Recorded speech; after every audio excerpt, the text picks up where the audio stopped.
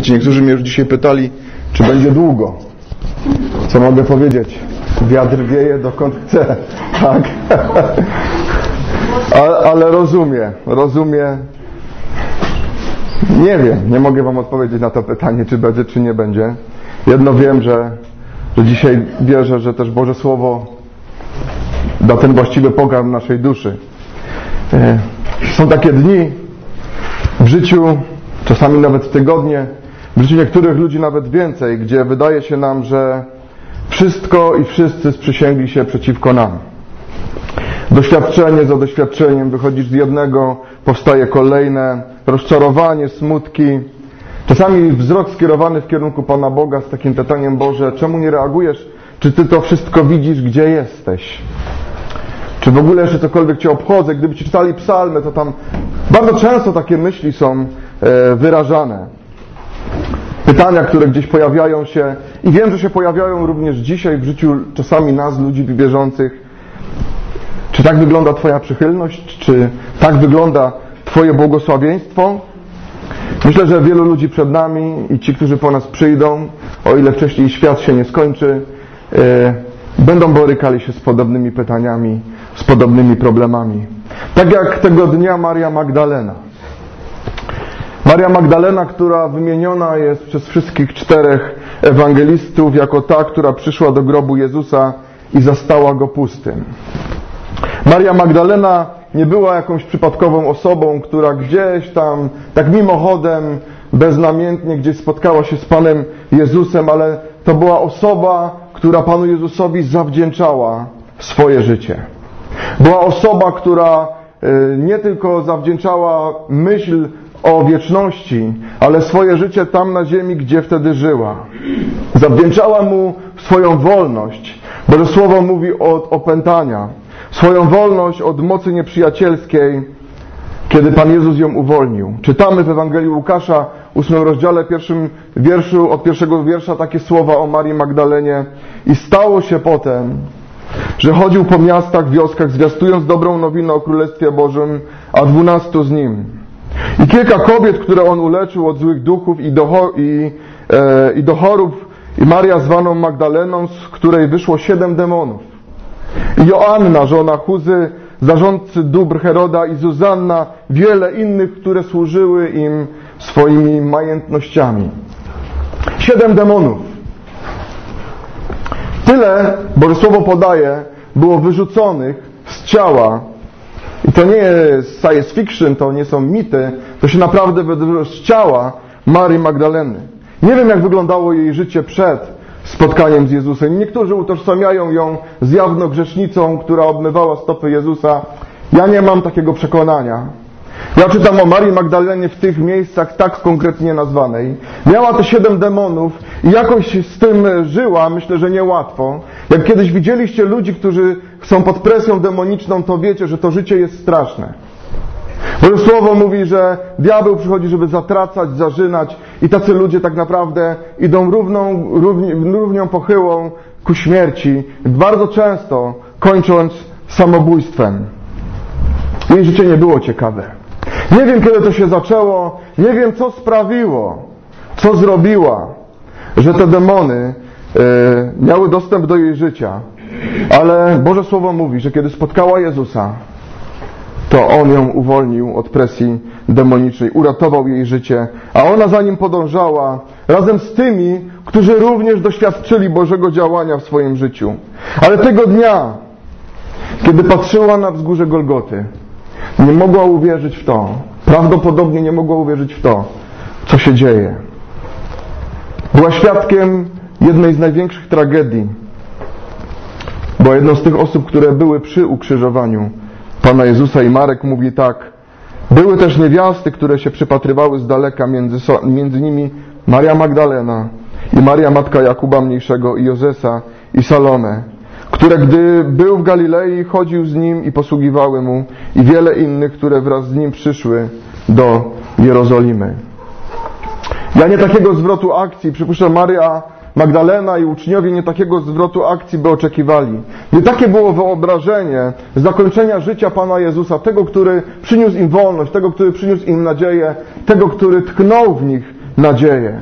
Teraz są świadkami tak naprawdę śmierci, hańbiącej śmierci na krzyżu Golgoty. I te dni wydawały się jak pasmo takich nieszczęść, które przychodzi jedno po drugim. Kiedy myślisz, że już koniec, że już nic nie może się gorszego stać.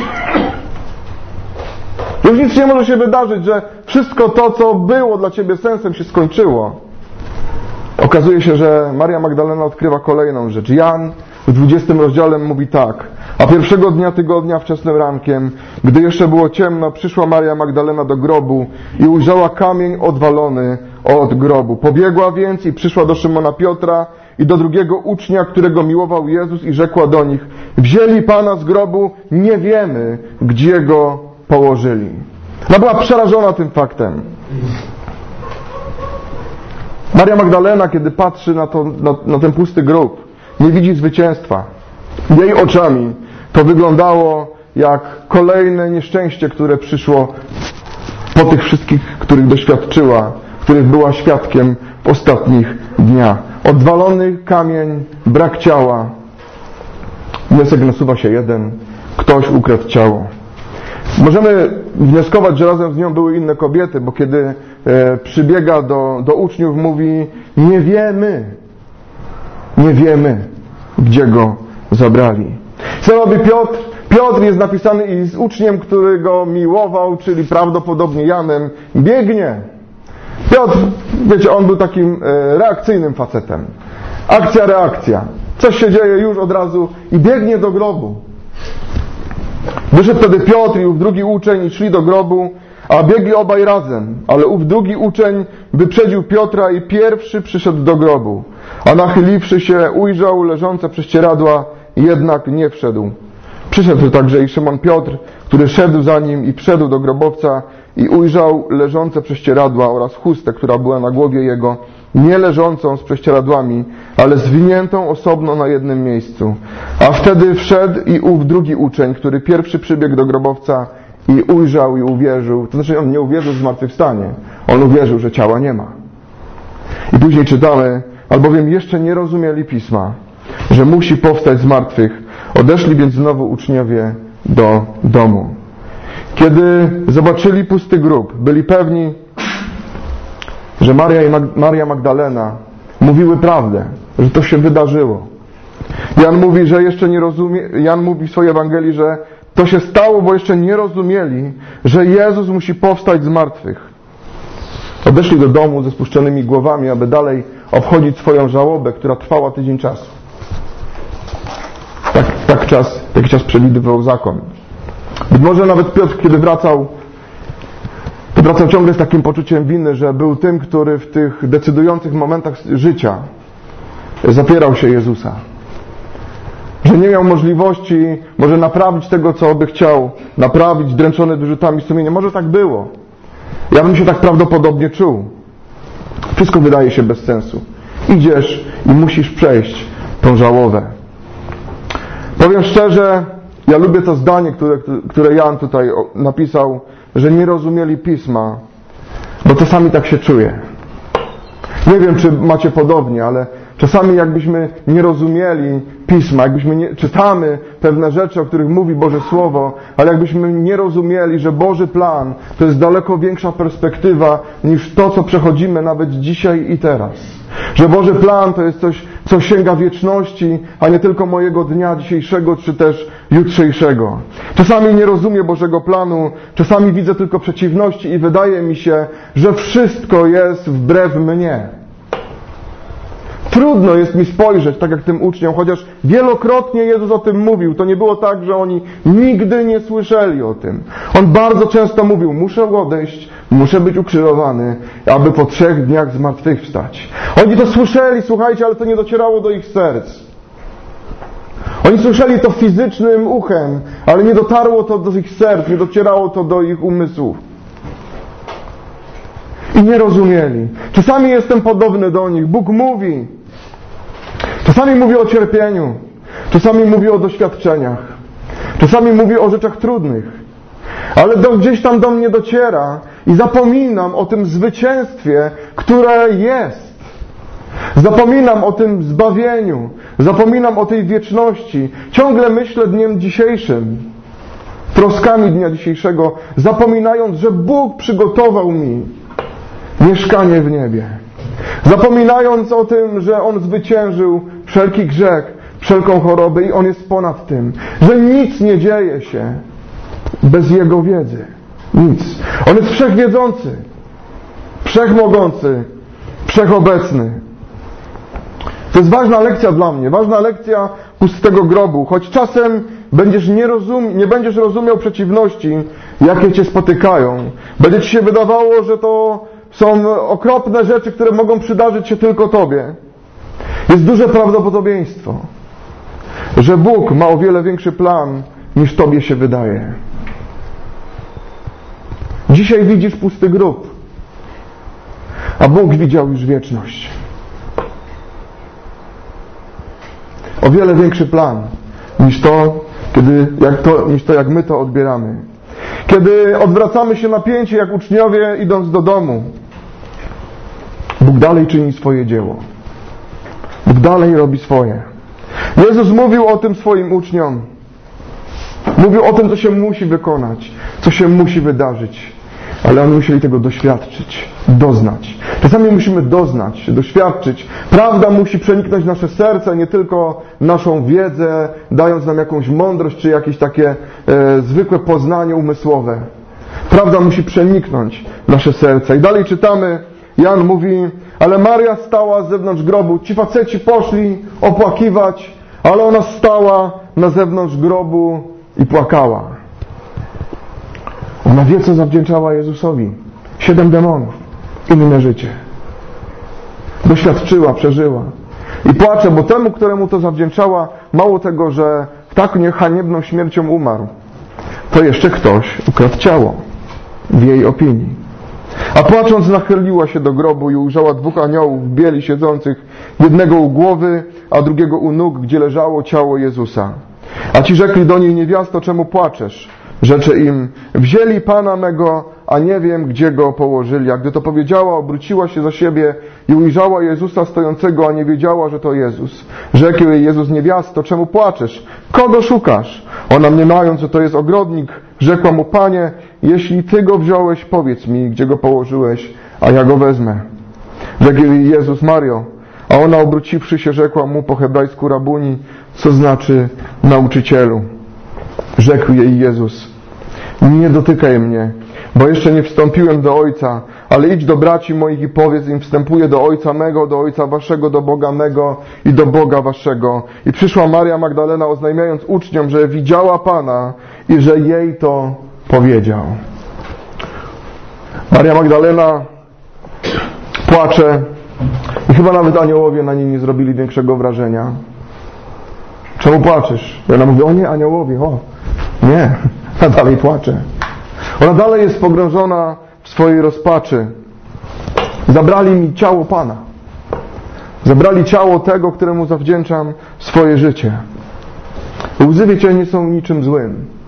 Ale kiedy sam Jezus staje za jej plecami i mówi, dlaczego płaczesz, ona ciągle płacze i ciągle patrzy przez łzy. Ona ciągle patrzy oczami rozpaczy. Ja wierzę, że łzy są dobre i tak nas Pan Bóg stworzył i płacz nie jest wstydem. Jednak nie rozpoznając Jezusa przez łzy, myśląc, że to ogrodnik, to jest kolejna lekcja. Czasami rozpacz może sprawić w naszym życiu, że nie rozpoznamy Jezusa. Tak bardzo pogrążymy się w rozpaczy, że nie będziemy widzieli Jezusa, który stoi obok nas. Znaczy to, ta myśl mnie przeszywa, że sami tak bardzo mogę pogrążyć się w swojej rozpaczy. Trudów, przeciwności, że przestanę patrzeć na Jezusa. I po prostu, kiedy On będzie obok mnie, Jego nie będę widział. Będę myślał jak Maria Magdalena, że to po prostu ogrodnik. Mogę tak skupić się na okolicznościach, na opłakiwaniu stanu rzeczy, że nie rozpoznam zwycięzcę przychodzącego do mojego życia. Wiecie, czasami mamy takie rozpacze osobiste w naszym życiu. Rozpacze, które związane może są z grzechem, który nas nęka, nęka i od lat nie dajemy sobie z nim rady. Płaczemy w samotności. Ja czasami płakałem w samotności. Czasami płaczę w samotności. Boże, nie daję rady. Boże, pewne rzeczy mnie przerastają. Staję się rozżalony i nie widzę Jezusa. Nie widzę Jezusa zwycięzcę wszelkiego grzechu. Tego Paweł później pisze do Koryntian. Myślę słowa, które są no, dla nas chrześcijan powinny być jedne z najważniejszych. A gdy to, co skażone przeoblecze się w to, co nieskażone i to, co śmiertelne przeoblecze się w nieśmiertelność, wtedy wypełni się słowo napisane pochłonięta jest śmierć w zwycięstwie. Gdzież jest o śmierci zwycięstwo Twoje? Gdzież jest o śmierci żądło Twoje? A rządłem ciała, rządem śmierci jest grzech, a mocą grzechu jest zakon. Ale Bogu, Paweł mówi, ale Bogu niech będą dzięki, który nam daje zwycięstwo przez Pana naszego Jezusa Chrystusa. W mojej rozpaczy czasami zapominałem o tym, że moje zwycięstwo jest w Bogu. Nie w tym, ile łez wyleję, ale w Bogu. Zapominam o tym, że to, co skażone, a teraz jesteśmy w skażonych ciałach, mamy mnóstwo, mamy niewyparzone języki, mamy problemy z naszymi pokusami, z porządliwościami, z naszymi ciałami. Ciągnie, ciągnie was czasami do rzeczy, których nie chcecie robić. Wiecie dlaczego? Bo nasze ciała są skażone. Ale Jezus umarł i zmartwychwstał po to, aby nas przyoblec, kiedy znajdziemy się po drugiej stronie, przyoblec w to, co jest nieskażone ciało nieskażone. Ciało, które nie ma na sobie piętna grzechu. Bogu niech będą dzięki, które nam daje zwycięstwo przez Pana naszego Jezusa. Bóg dał nam wszystko, co jest potrzebne do zwycięstwa. Dał nam swojego Syna, Jezusa Chrystusa. Tak jak powiedziałem Wam, ja straciłem wiele czasu na wielu próbach poradzenia sobie z różnymi moimi słabościami, z różnymi moimi grzechami. I ja nie chcę Wam powiedzieć, że to znaczy, że wszystko się dzieje ponadnaturalnie i nic nie, nie leży po Twojej stronie. Ale ja chcę powiedzieć, że czasami tak e, w tą stronę poszedłem drugą taką skrajność, gdzie wydawało mi się, że to ilość łez, Ilość wyrażonego smutku da mi tak naprawdę wolność. Ciągle próbując własnymi siłami sobie poradzić z moimi grzechami. I powiem Wam, obietnic, mam nadzieję, że nie jesteście podobni do mnie, ale obietnic przed Bogiem złożyłem mnóstwo. Panie, ja już nigdy, Panie, to był ostatni raz. Panie, to się już nie powtórzy. Wiecie jak długo? Dobrze było jak do następnego dnia. Dobrze było, jak do następnego dnia. Bracia, siostry, to jest rzecz, myśl, którą musimy zrozumieć, że nasze zwycięstwo, moje zwycięstwo nie jest w mojej sile. Ja jestem zbyt słaby. I czasami ludzie mi mówili, że to, co wydarzyło się, zmiany, które zaszły w moim życiu, to moja silna wola. Słuchajcie, wy mnie nie znaliście przed. I dobrze. Nie znaliście mnie przed, kiedy kiedy nie znałem Chrystusa, ale tam nie było silnej woli i powiem Wam, do dzisiaj jej nie ma. Bez Chrystusa, bez Jego mocy nie mam żadnej szans, żeby oprzeć się grzechowi, żadnych. Bez Chrystusa to zniewolenie może na nowo przyjść do mojego życia. Bez Chrystusa nie mam siły. Ja nie mam szans, ja nie mam na tyle siły, nie mam takiej mocy. Musiałem zrozumieć, że Muszę zrezygnować z swoich koncepcji wolności i drogi do wolności. Dopiero kiedy przyszedłem, kiedy przychodzę do, do Boga z niczym i mówię, naprawdę nie umiem. Nie mam sił. Nie dam rady. Tylko w Tobie jest moje zwycięstwo. Słuchaj, doświadczysz zwycięstwa. Doświadczysz zwycięstwa. Ja doświadczyłem zwycięstwa. Nie przestałem się miotać, Przestałem mówić, ja sobie poradzę, Boże, spoko, spoko. Jeszcze dzisiaj dam radę, dam radę. Dam radę, Panie Boże, tak troszkę mnie wesprzyj. I ciągle upadałem i upadałem i upadałem. Czasami upadam. Ale zmieniło się moje myślenie. Nie chcę tylko rozżalony płakać i płakać. Choć ten właściwy smutek jest dobry. Pokuta jest jak najbardziej właściwą rzeczą. Ale bez zwycięstwa w Chrystusie Mogą nasze oczy być tylko zalane łzami i nie rozpoznamy, że On jest i On dał nam zwycięstwo. Maria jednak tak przy pustym grobie nie oddaje się, tam przy pustym grobie nie oddaje się takim e, wybiegom w przyszłość, takiej kontemplacji i nie poukładała sobie to w głowie, no właśnie, teraz to dopiero będzie zwycięstwo. Ale to jest piękne w Jezusie. To jest piękne w Jezusie, że On przychodzi i Jan powiedział kiedyś tak, e, w Ewangelii Jana Jezus powiedział tak, owce moje głosu mojego słuchają i znam je, a one idą za mną. I daję im żywot wieczny i nie giną na wieki i nikt nie wydrze ich z ręki mojej. Ojciec mój, który mi je dał, jest większy nad wszystkich i nikt nie może wydrzeć ich z ręki mojej. Ja i Ojciec jedno jesteśmy. Owce mój głos znają, a ja znam moje owce. I kiedy słyszą mój głos, one wiedzą, kto jest właściwym pasterzem. Ten cudowny głos zwycięzcy mówi im Mario. Ha! I nagle, słuchajcie, zasłona z oczu zdjęta i widzi, widzi tego, w którym pokładała swoją nadzieję, widzi tego, który jest zwycięzcą, widzi tego, który uwolnił ją z jej niewoli demonicznej, widzi tego, za którym podążała, widzi tego, który już nie jest w grobie złożony, ale tego, który żyje. Rzekł Mario, a ona obróciwszy się rzekła mu po hebrajsku, Rabbuni. No nie tylko rabbi, nauczycielu, ale to było bardzo, bardzo takie, wiecie, delikatne. Rabbuni, przyjacielu, mistrzu, nauczycielu, mój Panie. Rabbuni, to Ty. To Ty nie spóźniłeś się. To Ty przychodzisz w odpowiednim momencie. Jak ważne jest, jak, żebyśmy znali głos Jezusa. Jak, jak ważne jest, abyśmy potrafili odpowiedzieć na ten głos. Ci odpowiedzą, którzy znają Jego głos. Bo On przychodzi w tych najtrudniejszych momentach rozpaczy, które wydają nam się nie do rozwiązania. Ale czy słyszymy? Kiedy mówi Piotrek, Rafał, Łukasz, Grzesiu, czy słyszysz Jezusa i mówisz, Panie, jesteś, żyjesz. To jest Twoje zwycięstwo.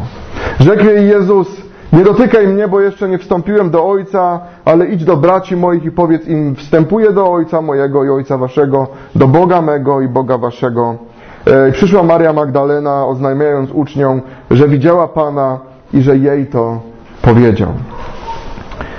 Opis Jana e, zadał wiele trudności różnym biblistom.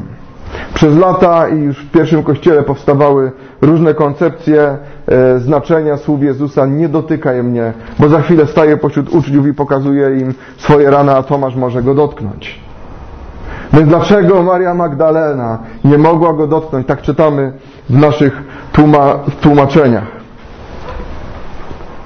Jednym z najbardziej możliwych dla mnie do przyjęcia jest to, że to tłumaczenie nie dotykaj mnie, to znaczy nie zatrzymuj mnie, nie trzymaj mnie kurczowo. Nie trzymaj, nie zatrzymuj mnie. To nie dlatego Jezus powiedział nie dotykaj mnie, bo miał śmierć, Pan,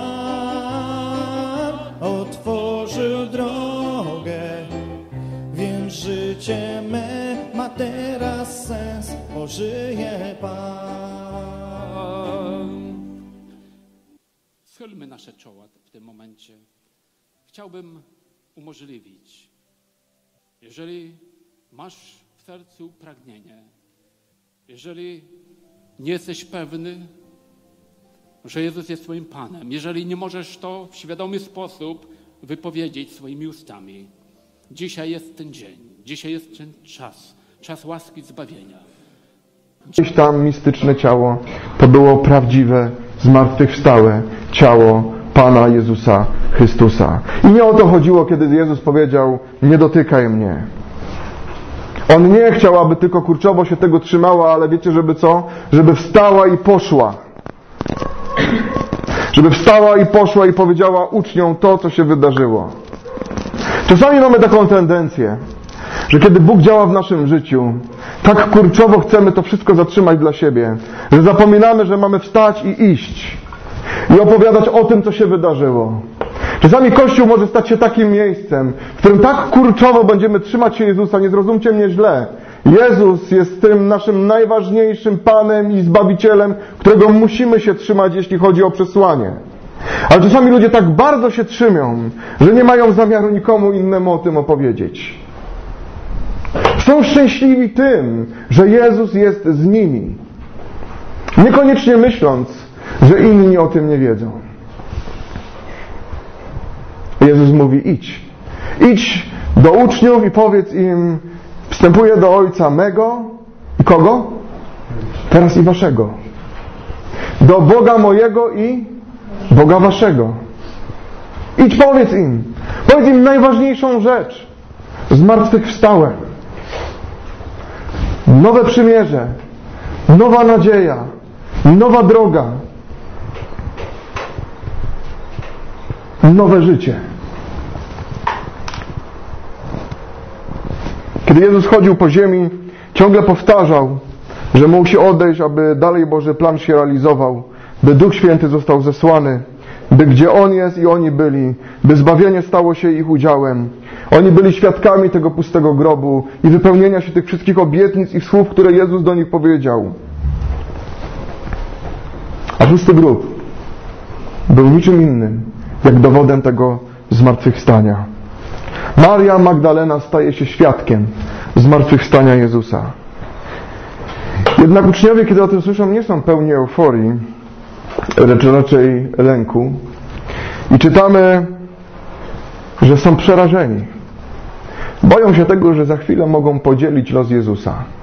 To znaczy, boją się tego, że za chwilę mogą przyjść Żydzi i zrobić również z nimi porządek. Tak jak zrobili ten porządek w ich mniemaniu z Jezusem. Zaryglowali się w swoim gdzieś tam pomieszczeniu, domu. Zaryglowali się.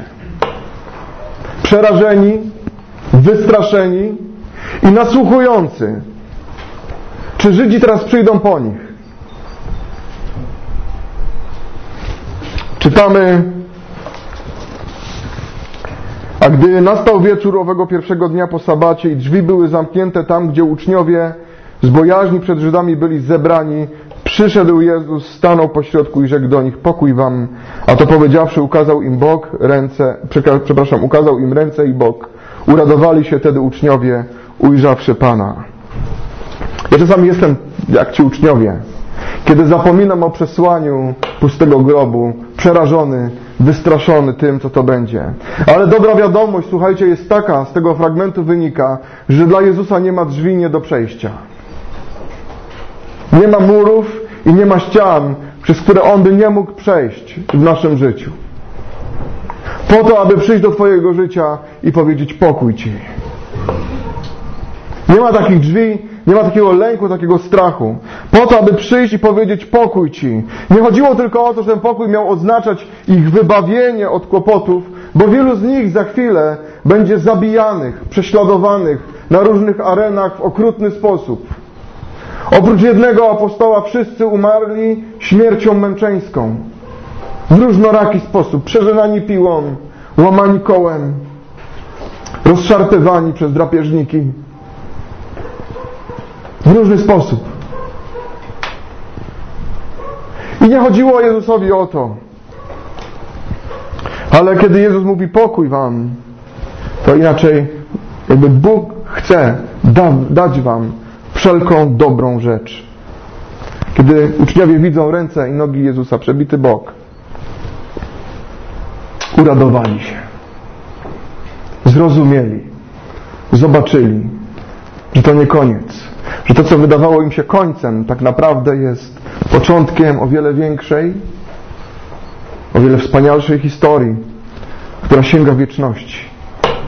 Że Jezus nie przyszedł tylko po to, aby dać im chwilowe uzdrowienie, uwolnienie. Że Jezus nie chodził po ziemi po to, aby trochę tam, wiecie, y, z faryzeuszami y, się pościerać. Że nie przyszedł po to tylko, żeby tam paru ludziom raz na jakiś czas pobłogosławić, jak pięć tysięcom ludziom i dać im jeść. Ale przyszedł, żeby zmienić życie ludzi. Przyszedł, żeby odnieść zwycięstwo i pokonać grzech, śmierć, wszelką chorobę, wszystko to, co jest, to, co dotyczy naszego życia i co jest dla nas problemem. Przyszedł po to. Oni widząc ten, te ręce, widząc ten przebity bok, mówią, rozradowali, jest napisane, rozradowali się, że ujrzeli, że ujrzeli Pana. Czy masz radość, kiedy myślisz o tych rękach, kiedy myślisz o tym przebitym boku, kiedy myślisz o Jezusie? Jakie są emocje w Tobie? Czy masz radość? Radość z dzieła, które dokonało się dwa tysiące lat temu. Ale robi coś Jezus jeszcze więcej. Oni mówią, fajnie chłopaki, w tym pokoiku to macie tak elegancko, fajnie, no. To, to chciałem was zachęcić. Nie. Jezus robi coś więcej, On rzuca im wyzwanie. I znowu rzekł do nich, pokój wam, jak Ojciec mnie posłał, tak ja was posyłam. A to rzekłszy, tchnął na nich i powiedział, weźmijcie Ducha Świętego. Jezus rzucił im kolejne wyzwanie, mówi, ok, a teraz, jak mnie Ojciec posłał, macie wzór, macie przykład. Wszystko jest opisane. Byliście ze mną, my mamy wszystko opisane. Macie wzór, macie przykład, jak mamy iść, jak mamy żyć, co mamy głosić, kogo mamy zwiastować. Jak mnie Ojciec posłał, tak i ja was posyłam. Kościół, czyli ludzie, którzy są włączeni, jak Boże Słowo mówi, w ciało Chrystusa. Kościół jest ciałem Chrystusa, które jest posłane po to, aby nieść, tak jak Jezus niósł nadzieję, ludziom swoich czasów. Abyśmy my dzisiaj nieśli nadzieję, przesłanie Jezusa Chrystusa zmartwychwstałego. Nie Jezusa, który nie ma mocy. Nie Jezusa tylko, który został na krzyżu i tam się wszystko skończyło. Gdyby tak było, słuchajcie, to o Jezusie byśmy myśleli i mówili tak jak o Napoleonie. I wielu innych postaciach historycznych, które coś zrobiły, gdzieś wpisały się na kartę historii, ale umarli i nic więcej się nie wydarzyło. Ale czytamy o Jezusie, który powstał z martwych. I Kościół ma to zadanie. Jest powołany do tego wewnętrznego, kurczowego trzymania się Jezusa, nie dla samych siebie i cieszenia się nim tylko w sobie, ale pójścia i, i ogłaszania tego zwycięstwa, które jest w Jezusie Chrystusie. Teraz uczniowie i Maria Magdalena mogą widzieć ten szerszy obraz, ten obraz, który często umyka nam dzisiaj, jako większego planu Bożego. Posyłam, Jezus o tym mówił, posyłam was, słuchajcie, do fajnego świata, w którym będziecie się świetnie bawić. Ludzie będą was kochać. Jak będziecie o mnie mówić, to będę mówić, ty fajny, no fajny jest ten twój Jezus. Posyłam was do świata, w którym nie będzie żadnej ceny do zapłacenia, będzie wam wygodnie, w ogóle, no, wszyscy wam będą zazdrościć. Nie, Jezus mówi, słuchajcie, posyłam was jak owce między wilki. Świat będzie was nienawidział. Ludzie, jak będziecie zaczynali mówić o, o mnie, o Ojcu, to będą wywracać oczami. Macie czasami takie rozmowy, że ludzie wywracają oczami i mówią, o czym ty w ogóle do mnie gadasz? Bóg? Człowieku XXI wiek. Z konia spadłeś? A może taki Bóg, a może taki Bóg, a jaka jest różnica? Jezus mówi, posyłam was jak owce między wilki. Nie będzie łatwo.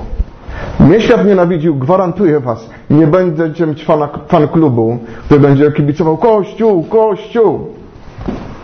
Nie. Świat będzie w opozycji i jest. I dwa tysiące lat był w opozycji i jest w opozycji. Ale Jezus mówi, ale ja was posyłam. Jezus też miał opozycję.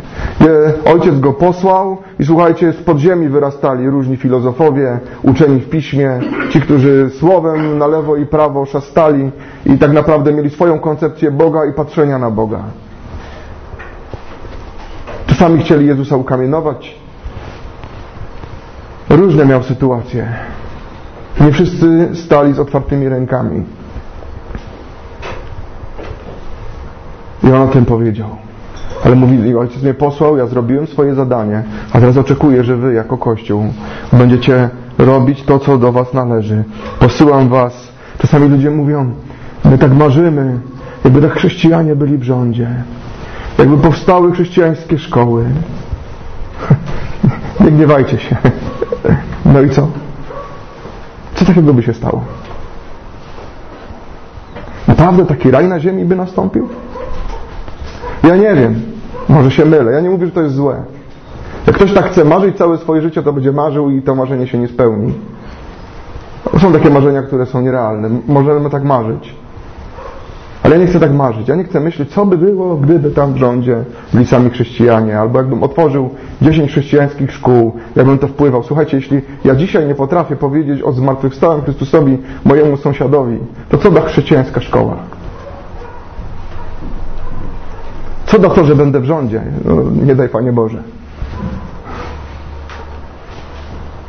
Ja, ja, słuchajcie, myślmy o tym, co Jezus mówi do nas dzisiaj. Oto ja posyłam Cię. I nie mów o wielkich rzeczach, zacznij od małych.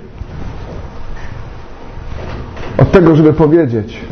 Od tego, aby powiedzieć o Jezusie, który zmartwychwstał, że Jego grób jest pusty. O tym, że On zwyciężył świat.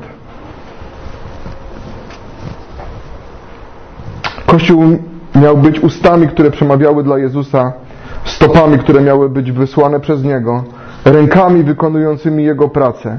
Poselstwo Chrystusa zostało przekazane w ręce Kościoła.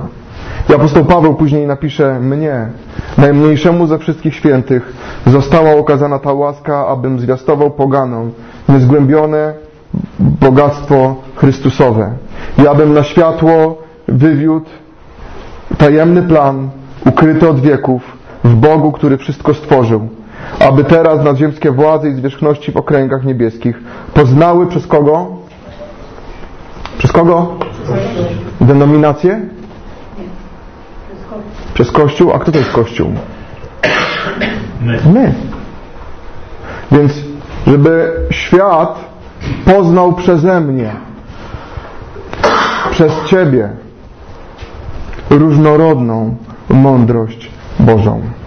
Według odwiecznego postanowienia, który wykonał w Chrystusie Jezusie Panu naszym i w którym mamy, słuchajcie, mamy, nie musisz Bogu nic udowadniać.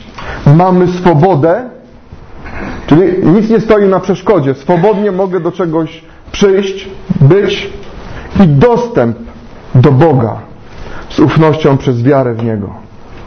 Jeśli masz wiarę, jeśli uwierzyłeś w Jezusowi, jeśli On jest Twoim Panem i Twoim Zbawicielem, jeśli oddałeś Mu swoje życie, pokutowałeś swoich grzechów, masz swobodny dostęp do Niego, do Boga, aby poznali przez Kościół, przeze mnie różnorodną mądrość Bożą. Czy ludzie patrząc na mnie widzą mądrość Bożą, czy moją głupotę? Co ludzie widzą, kiedy patrzą? Co ludzie widzą, kiedy mnie słyszą? Co ludzie, co ludzie myślą, kiedy mnie słyszą? Nie w kościele, nie za kazalnicą. Czy widzą mądrość Bożą? Co ludzie widzą, kiedy dzisiaj patrzą na Kościół? Kościół potrzebuje Jezusa, bo bez Niego nie ma poselstwa. Nie ma poselstwa, które moglibyśmy zanieść światu, nie ma nadziei, nie ma nic. Potrzebujemy Jezusa, bo bez Niego nie mamy mocy, potrzebujemy Jezusa, bo inaczej pozostaje nam rozpacz i beznadzieja. Słuchajcie, Jezus mówi, jeśli nie ma zmartwychwstania, to w ogóle daremna nasza mowa, to wszystko co robimy, to wszystko jest na nic, zostawmy to. Jeśli Kościół zrezygnuje z Jezusa, z przesłania o Jezusie i zaczniemy się zajmować wszystkim innym, to słuchajcie, to jest na nic. Ani jedno życie nie będzie zmienione. Ani jedno życie. A przynajmniej mówimy o takiej prawdziwej przemianie. Jak Ojciec mnie posłał, tak ja was posyłam. A relacja Ojca i relacja Jezusa z Ojcem była niesamowita. Ona opierała się na posłuszeństwie, podporządkowaniu, na miłości. I myślę, że, że tego samego Jezus od nas oczekuje, że ta relacja będzie opierała się na posłuszeństwie, na miłości. Kościół musi wypełnić tą wolę Chrystusa nie swoją politykę. Dzisiaj w Kościele bardzo często ludzie mają swoją politykę. Ale nie do tego nas Jezus powołał. Powołał nas, abyśmy ogłaszali Jego wolę, abyśmy ogłaszali Jego zwycięstwo na krzyżu Golgoty. Oto posyłam Was. posyła mnie, posyła Ciebie, jak Ojciec mnie posłał. Wiecie, i kończy apostoł, e, przepraszam, Jan mówi, że y, i tchnął w nich ducha. Przyjmijcie, tchnął w nich, przyjmijcie ducha świętego. Weźmijcie moc, weźmijcie ducha świętego. Kiedy Bóg, ja, ja lubię ten motyw, dlatego że kiedy Bóg stworzył człowieka z prochu ziemi, co zrobił? Tchnął w niego dech życia i co? I stał się człowiek istotą żyjącą.